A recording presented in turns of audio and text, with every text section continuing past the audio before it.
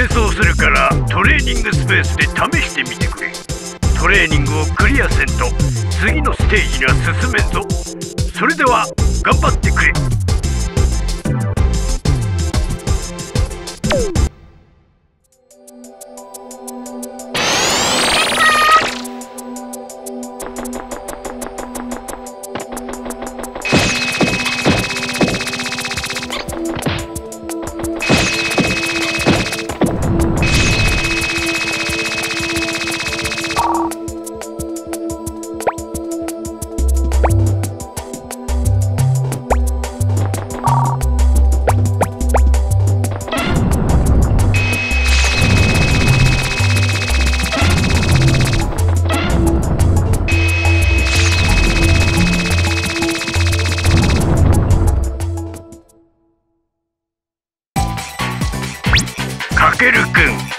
度は海の方に行ってくれたまえ。